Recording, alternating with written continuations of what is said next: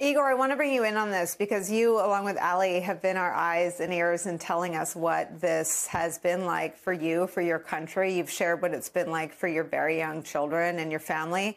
And you were in Kiev and you don't plan on going anywhere. Tell, tell me if you thought you'd ever be here on the one year anniversary of a, of a war. Well, Nicolle, surprisingly, I did. I was one of the few people, uh, you know, um, in the world and me and other Ukrainians, let's put it this way, who knew we were not going to give up, who knew we were going to be here in a year's time. It, it, was going to be difficult, but you know we were going to survive it. But the world didn't believe us. I mean, if you if you had asked anyone like a year ago, uh, who's more likely to visit Kiev soon, Biden or Putin? Most people would say Putin because Kiev was going to fall in three days, and yet it didn't. And President Biden was standing here today, and I think it's a tribute to the Ukrainian people, and it's also a testament to the bravery of the uh, two men who are shaking hands in Kiev today.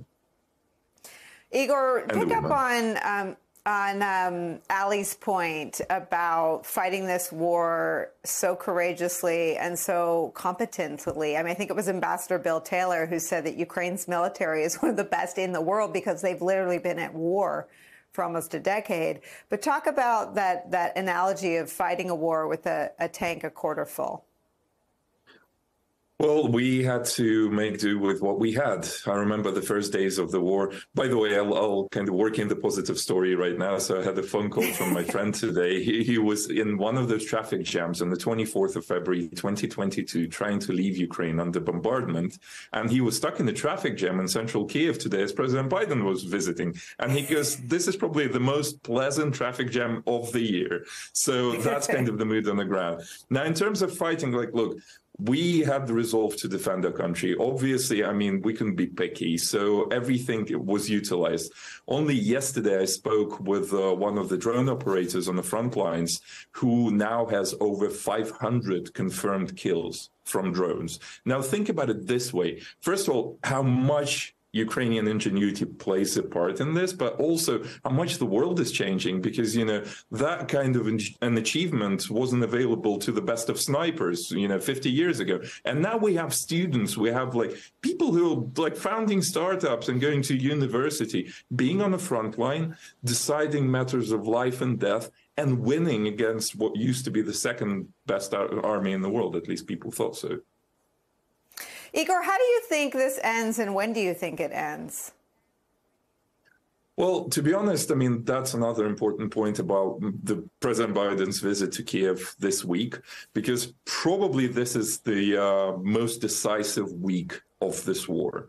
And uh, originally it was all going to be about Russia. You know, President Putin has set up all the theatrics. He's going to be speaking to the, uh, you know, special sitting of the Federation Council tomorrow, then the UN uh, Security Council meeting, then the anniversary. We, we're expecting missile strikes on those, and some schools are closing. So this week was going to be about Russia.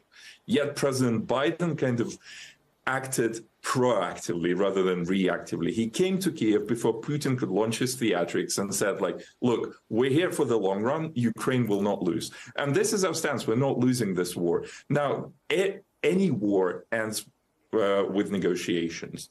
But we have to be in the best position possible to enter those negotiations. And for us, it's the 1991 recognized state. Mm-hmm. Ali, I wonder if there's any report you can share with us about how Biden, I know he's out of the country now, so there are less operational concerns, but uh, I guess on, on the one right. hand, how, how, we got there, how it stayed secret, and then how we got back out, and then whether there's more security now, whether, whether there's sort of a girding for any potential retaliation from Russia.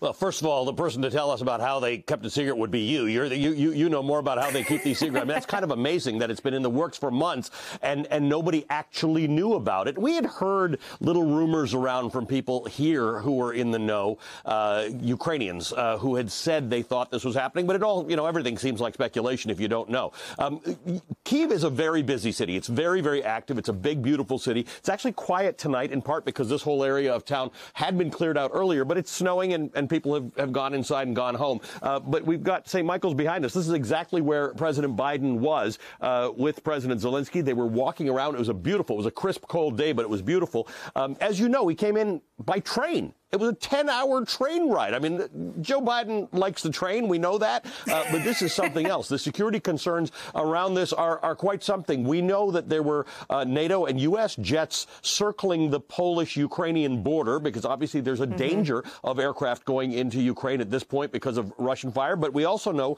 uh, from the White House that they had informed um, uh, Russia hours earlier. And, you know, I'd like to know the story behind that about, you know, are you informing them because you're saying that if you hit this train, you're going to start a much bigger conflict than you thought you were? Or, you know, how did that all go down? We don't have all the details of that yet, but it came in. I mean, that is some determination. And I think Igor's point is, is valid to be able to take the attention, the spotlight off of Russia and Putin and the attacks that we are likely expecting later in the, the week is something dramatic. However, Nicolle, it is a poke in the eye. Uh, it's a really big poke in the eye. So there were mm-hmm. provocations mm-hmm. that were expected this week anyway. And yes, this city is preparing for them, as is the whole of the country.